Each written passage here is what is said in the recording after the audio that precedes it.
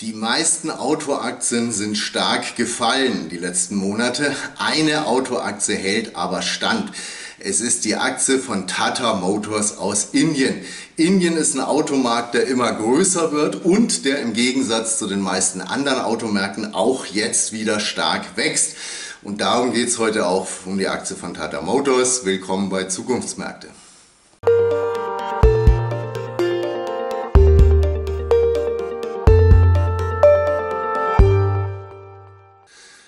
Kolumbus wollte ja eigentlich nach Indien bekanntermaßen. Es hat da vorübergehend die Idee gegeben, dass die Erde rund sei.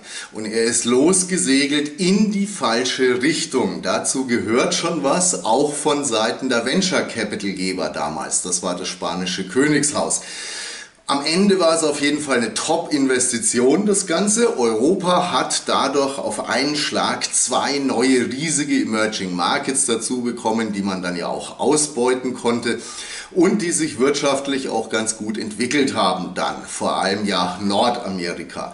Und im Übrigen, wenn vor 300 Jahren jemand Sie gefragt hätte, wo ist in Zukunft die größte Wirtschaftsnation der Welt, in Nordamerika oder in Südamerika, es hätte garantiert damals jeder gesagt, in Südamerika natürlich, weil da sind die riesen Bodenschätze, da gibt's schon große Städte und es wird gehandelt und Südamerika wird ja auch gut verwaltet von uns Europäern. Und in Nordamerika dagegen, da ist ja nichts, außer ein paar Holzhütten vielleicht. So kann man sich irren. Darum ist es auch immer gut als Anleger, wenn man seine Schwellenländer immer ein bisschen beobachtet und im Blick hat. Die große Erfolgsstory waren dann am Ende die USA. Jetzt wirken die aber auch inzwischen schon ein bisschen abgegrast. Und wer jetzt nach Ländern mit Zukunft schaut, der sucht dann doch wieder woanders, nämlich unter anderem in Indien. Indien zurzeit eine der stärksten Börsen der Welt, auch jetzt noch in der globalen Korrektur eigentlich. Und ich bin in meinem Video Anfang Mai ja ausführlich darauf eingegangen, auf den Markt. Ich habe aber auch erwähnt, dass es leider bis jetzt nur wenig Einzelaktien gibt aus Indien, die man hier auch handeln kann. Und eine davon ist eben die Aktie von einem der größten Autokonzerne in Indien, Tata Motors. Nur bei Tata Motors, da geht es uns als Anleger genauso wie es Kolumbien, Kolumbus gegangen ist. Wir segeln los nach Indien und wo landen wir am Ende? Ganz woanders, in Großbritannien nämlich. Warum ist es so? Vorher noch ein Hinweis. Erstens, es gibt leider wieder Betrugsversuche unter den Videos hier. Das sieht jetzt so aus. Da wird eben der Eindruck vermittelt, das seien Kommentare von mir und da steht dann, ich werde Ihnen eine lebensverändernde Gelegenheit vorstellen. Ich stelle hier natürlich immer lebensverändernde Gelegenheiten vor, aber nicht unter so einer komischen, dubiosen WhatsApp-Nummer. Reagieren Sie darauf bitte nicht, auf keinen Fall. Und das Zweite, Russland ADRs, die sind ja gesperrt noch zurzeit und da kommt jetzt aber anscheinend langsam Bewegung in die ganze Sache wieder. Die russische Duma, die hat jetzt das Gesetz verabschiedet, das den westlichen Anlegern die Möglichkeit geben soll, die zu tauschen in Originalaktien ohne Rückgriff auf westliche Infrastruktur. Und Clearstream bewegt sich jetzt anscheinend auch und ich mache demnächst dazu auch nochmal ein Video wahrscheinlich, aber erst dann, wenn es dann auch wirklich mehr Klarheit gibt dazu. Wenn Sie betroffen sind von der Sache, am besten äh, Kanal hier abonnieren, dabei dann auch die Glocke drücken, da, dann haben Sie auch die Benachrichtigung, wenn neue Videos da sind, dann kriegen Sie auf jeden Fall schon mal mit, wenn das nächste Video rauskommt zu den Russland-Aktien und natürlich äh, kriegen Sie auch mit, wenn andere Videos von mir rauskommen, die ich hier mache. Tata Motors ein indischer Autoproduzent und Lastwagenproduzent gehört zur Tata-Gruppe. Das ist ein riesiges Konglomerat in Indien, die eben auch Autos herstellen. Vor allem für den indischen Markt in erster Linie. Aber Tata Motors hat 2008 auch Jaguar und Land Rover übernommen. Zwei britische Marken von Ford. Und zwar für so gut wie nichts.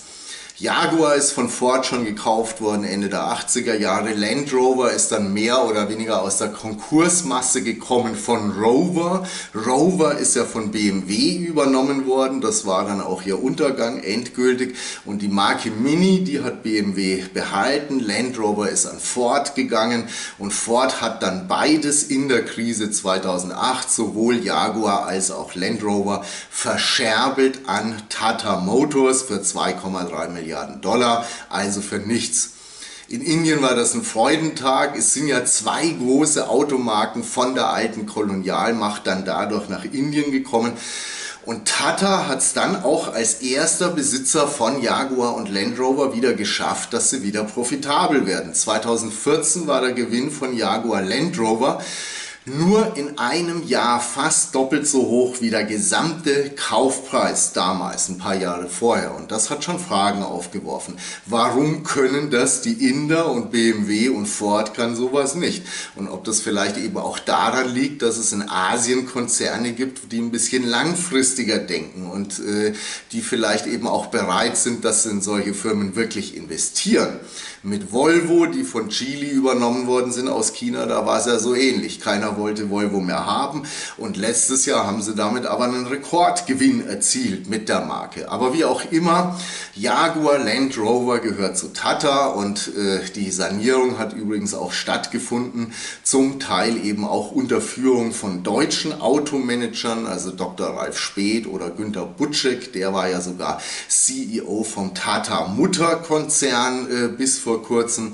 Und Jaguar Land Rover steht da eben auch immer noch für knapp 70 Prozent vom Gesamtumsatz. Und darum habe ich auch vorhin gesagt, man kauft sich eine indische Autoaktie hier und landet dann doch in Großbritannien am Ende. Das ist die Aktie, genauer gesagt die ADRs, die man bei uns handeln kann. Wir haben einen starken Anstieg gehabt die letzten zwei Jahre, klassische Erholung in der Corona-Krise. Dann Anfang dieses Jahr eine Korrektur und seitdem bewegt sie sich seitwärts. Jetzt könnte natürlich jeder, der das betrachtet, zu Recht sagen, scheint ja ziemlich heiß gelaufen zu sein, das Ding. Und jetzt ist die Luft offenbar raus. Und das kann man auch so sehen, weil billig ist die Aktie auch nicht mehr. Das KGV liegt jetzt ungefähr bei 20. Damit ist sie deutlich teurer als die meisten anderen Autoaktien. Was aber eben schon auffällt, ist die relative Stärke. Also sie steigen zwar nicht mehr, sie fallen jetzt aber auch nicht wirklich. Im Gegensatz eben auch zu vielen anderen Autoaktien. Wenn wir als Vergleich jetzt mal nehmen, Volkswagen zum Beispiel. Die sind ja seit Anfang 2021 schwer im Sinkflug schon wieder, haben sich jetzt auch fast schon halbiert vom Hoch. Oder Ford Motor, wie erwähnt äh, vorhin, da hat die Rallye länger gehalten bis Anfang 2022, aber sind die letzten Monate eben auch abgestürzt und haben sich mehr als halbiert. General Motors hier so ähnlich, also auch da eine starke Erholung seit der Pandemie und dieses Jahr dann aber eben auch zusammengeklappt weil wir jetzt große Sorgen haben um eine mögliche Rezession und um einen Rückgang der globalen Autonachfrage. Und die Sorgen, die hat man aber bei Tata Motors anscheinend nicht in dem Maße. Auch da ist es nicht richtig rund gelaufen die letzten Jahre. Jaguar Land Rover, die waren vorher zu erfolgreich, die haben zu schnell expandiert wieder. Der Umsatz ist hochgegangen, aber die Margen sind stark runtergegangen. Und dann ist der Brexit gekommen, das war der erste harte Schlag. Dadurch ist eine unglaubliche Verunsicherung entstanden da natürlich und gleichzeitig ungefähr eben auch der Dieselskandal und sie haben stark auf Diesel gesetzt bei Jaguar Land Rover. Dann ein jahrelang schwacher chinesischer Markt, wo sie extra in China ein neues Werk hingestellt haben. Und dann natürlich noch Covid-19 und hohe Rohstoffpreise und Halbleitermangel und, und, und. Das war also eine absolute Katastrophe eigentlich. Auch im letzten Jahr, das gelaufen ist bei denen bis März 2022. Auch da waren sowohl Jaguar Land Rover als auch das indische Geschäft mit LKWs und Bussen defizitär. Der Gesamtverlust hat sich zwar zum Vorjahr wieder halbiert, halbiert, war aber immer noch bei 130 Millionen Dollar. Das Ganze ist also schon auch zum Teil so eine Art Turnaround-Spekulation. Bei Jaguar Land Rover ist es im letzten Quartal auch wieder schlecht gelaufen, nach wie vor Halbleitermangel und die Lockdowns in China, sehr wichtig und der Absatz ist da um 37 Prozent geschrumpft, aber die Bestellungen da sieht es nicht so aus, als wäre da jetzt die große Krise. Die waren nämlich auf Rekordniveau jetzt. Ich habe auch grundsätzlich, was den gesamten Autosektor betrifft, so schon ein bisschen den Verdacht, dass man den vielleicht jetzt zu negativ sieht auch. Und in Indien, da springt der Markt jetzt eben auch wieder richtig an. Ein Absatzwachstum bei Tata um 110 Prozent zum Vorjahr und wenn man den internationalen Absatz noch dazu nimmt, immer noch ein Plus von 101 Prozent auf 201 31.000 Fahrzeuge und bei den LKWs und Bussen auch ein Anstieg um 69 Prozent. Das ist auch darum interessant, weil Tata Motors da einen Marktanteil hat bei LKWs von 45 Prozent, bei PKWs sind es nur 13 Prozent in Indien. Aber auch das ist schon gut. Tata Motors hat nämlich in Indien eben auch eine Krise gehabt, wo der Marktanteil zurückgegangen ist wegen harter Konkurrenz, auch ausländischer Konkurrenz durchaus. Und da hatten sie eben vor zwei Jahren nur noch 4,8% Marktanteil. Der ist jetzt aber wieder deutlich gestiegen und entsprechend eben auch der Gesamt-Pkw-Absatz inklusive Exporte hier, die sind aber nicht so wichtig, die sind auch kaum sichtbar. Alles in allem ein sehr starker Anstieg die letzten drei Jahre, fast eine Verdreifachung. Und Indien hat 1,4 Milliarden Einwohner, wird wahrscheinlich in ein paar Jahren China auch überholen. Bei der Bevölkerung ist dann das bevölkerungsreichste Land der Welt. Es ist inzwischen auch der viertgrößte Automarkt der Welt und laut Goldman Sachs ab 2025 wahrscheinlich sogar der drittgrößte nach China dann und den USA. Bis jetzt dominieren Kleinwagen in Indien. Es gibt auch einen harten Preiswettbewerb da, aber auch das wird sich wahrscheinlich ändern in den nächsten Jahren. Und Tata richtet sich darauf auch schon ein mit seiner Modellpalette, wo es jetzt auch in Richtung höherpreisige Modelle geht, mit denen man eben auch viel mehr verdienen kann. Und was auch interessant ist, die indische Regierung will, dass der Anteil von Elektroautos bis 2030 auf 30 Prozent steigen soll. Bis jetzt ist er noch bei unter einem Prozent. Und das ist für Tata besonders interessant, weil der Markt ist zwar noch klein, aber sie haben bei Elektroautos einen Marktanteil von 90 Prozent in Indien, weil sie eben auch über ihre ganzen Schwesterkonzerne auch eine gute Infrastruktur anbieten können. Und die Hersteller aus dem Ausland, die haben es da eben schwer, die müssen entweder eben auch direkt in Indien produzieren oder sie zahlen sehr hohe Importsteuern. Die kommen da also nicht so einfach rein in den indischen Markt. Das hat zum Beispiel Tesla jetzt äh, gerade auch wieder gelernt die letzten Wochen. Pro und Contra, soll man die Aktie kaufen? Sie ist nicht mehr billig, der Börsenwert äh, liegt bei 19 Milliarden Dollar, KGV bei knapp 20, wie gesagt. Es steckt also schon auch eine Menge Fantasie drin, die aber eben auch nicht ganz unberechtigt ist. Und was auch noch ein Thema sein könnte die nächsten Jahre, das ist ein Einstieg oder eine große Kooperation mit einem großen internationalen Autokonzern. Vor fünf Jahren, da haben die lang verhandelt über sowas mit Volkswagen. Das ist dann am Ende gescheitert. Tata Motors hat aber trotzdem immer gesagt, wir sind offen für eine große Allianz. Und der indische Automarkt ist eben hochinteressant und auch die internationalen Konzerne wollen da natürlich dringend rein jetzt. Und über Tata Motors wäre das im Prinzip möglich. Und Tata Motors würde umgekehrt davon dann aber sehr wahrscheinlich natürlich auch profitieren von so einer Allianz. Vielleicht wird es ja sogar Tesla, der Partner der Zukunft. Jetzt mal ganz, ganz hypothetisch. Aber Tesla kooperiert auch schon mit Jaguar Land Rover in England und in, in der EU bei den Emissionsrechten. Die Aktie ist also eher ein Langfristinvestment, würde ich sagen, und sie ist auch ein spekulatives Langfristinvestment. Hier ist nochmal ein längerer Chart über zehn Jahre. Die Schwankungen, die waren schon hoch, genauso wie das operative Geschäft ja auch stark geschwankt hat die letzten zehn Jahre. Und wir waren hier schon mal bei 45 Euro, wir waren aber auch schon mal bei 3 Euro.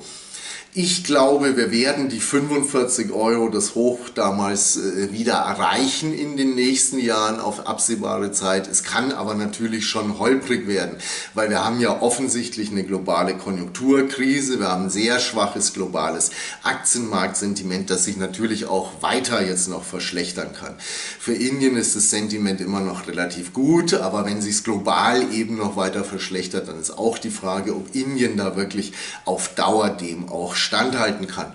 Und darum würde ich sagen, auch mit Rücksicht auf den Gesamtmarkt momentan natürlich, den müssen wir einfach im Auge auch haben, Tata Motors ist im Moment kein ganz klarer Kauf. Es ist aber eine Aktie mit Perspektiven, die man akkumulieren könnte jetzt. Das ist sowieso eins meiner Lieblingswörter zurzeit, akkumulieren. Ganz ähnlich wie ja auch mit dem indischen Markt an sich. Es ist ein Markt, wo man in der momentanen Marktlage jetzt vielleicht auch nicht zu euphorisch sein muss, den man aber schon auch äh, äh, nicht meiden sollte, den man auch nicht ignorieren sollte. Dafür ist er zu interessant. Ein Kritikpunkt habe ich aber doch noch und das sind die Autos an sich von Tata Motors, vor allem bei Jaguar Land Rover. Wie schön waren vor ein paar Jahren mal britische Autos, der Defender zum Beispiel von Land Rover. So sah der mal aus, ein Klassiker für alle Lebenslagen seit 1948. Und so sieht er heute aus. Es ist eben auch nur noch so ein aufgedunsener Pseudo-Geländewagen wie alle anderen auch. Unten rechts, da könnten Sie ihn noch konfigurieren, das macht es aber auch nicht besser. Oder noch so ein Hausfrauenpanzer, der Evoque S. So sehen heute Range Rover aus. Und daran sieht man auch, wie sich die Zeiten ändern. Also früher wollten sich die Fahrer vielleicht noch fühlen, so wie Abenteurer und Entdecker. Und heute ist aber Pornomillionär auch schon ganz okay. Und das ist heute ein Jaguar der E-Pace natürlich garantiert jeder Komfort und super motorisiert und alles, aber es ist eben auch nur noch ein SUV wie alle anderen auch, so wie sie überhaupt alle nicht mehr gut aussehen, die britischen Autos. Ja, auch Bentley, Aston Martin, Rolls-Royce, klobig, protzig, hässlich wie die Nacht. Früher hat man sich vorstellen können in so Autos von denen, dass man James Bond ist oder so. Und heute erinnern sie einen eigentlich nur noch an die eigene fortschreitende Herzverfettung. Aber so muss es wohl sein, wenn man Geld verdienen will mit solchen Autos. Und die kennen ihre Zielgruppen natürlich schon und es funktioniert ja auch. Und bei Aston Martin übrigens, da ist am Freitag äh, ein saudischer Staatsfonds auch eingestiegen. Also vielleicht kriegen sie jetzt ja doch noch die Kurve wieder erwarten. Ist auch eine hochspannende Aktie, aber da brauchen sie natürlich noch viel stärkere Nerven als bei Tata Motors. Ich darf noch kurz hinweisen auf unseren nächsten Zukunftsmärkte-Report. Da geht es um den sogenannten Halbleiterkrieg, also der Versuch der USA, China jetzt abzuschneiden von wichtigen Komponenten und Halbleitern oder auch Halbleiterproduktionsgerät. Und wie China eben auch darauf reagiert, weil das ist für die chinesische Wirtschaft natürlich ein überlebenswichtiges Thema, das Ganze. Die Reports von uns sind gratis. Dieser Report geht morgen raus. Also wenn Sie es noch nicht gemacht haben, tragen Sie sich noch ein dafür auf www.zukunfts-märkte.de. Der Link dafür ist hier auch nochmal unter dem Beitrag.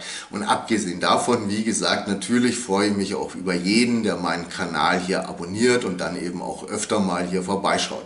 Alles Gute Ihnen, Dankeschön fürs Zuschauen.